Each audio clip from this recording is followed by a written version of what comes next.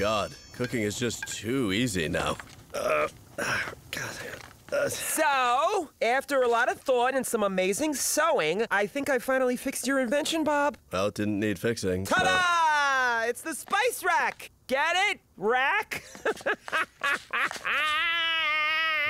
Well, you look ridiculous. oh, I look ridiculous. Yeah, you do. You're both right. I just took your idea and I made it good. What? No, you didn't. Come on, kids, which is better? Pass. No, thank you. Tina?